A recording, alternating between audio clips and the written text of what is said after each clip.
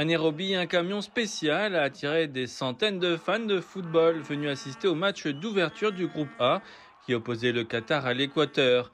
Il se rendra ensuite dans d'autres villes et villages du Kenya pour offrir aux fans une expérience de stade avec deux de ces écrans géants montés. Le camion de visionnage est un partenariat entre le diffuseur national et une société de Paris. Des fans enthousiastes à Nairobi ont partagé leurs prédictions et leurs réflexions sur la Coupe du Monde. J'ai l'impression que les gens sont vraiment enthousiastes, ce qui est une bonne chose. Je ne peux pas dire que je suis fan de football, mais j'aime l'énergie, donc je pense que je vais continuer à regarder la Coupe du Monde, à suivre pour voir qui gagne. J'ai hâte que le Qatar gagne et aussi le Brésil. Je suis une très grande fan du Brésil. Je suis reconnaissant parce que nous attendions cet événement depuis si longtemps et nous attendons juste que la meilleure équipe remporte la coupe.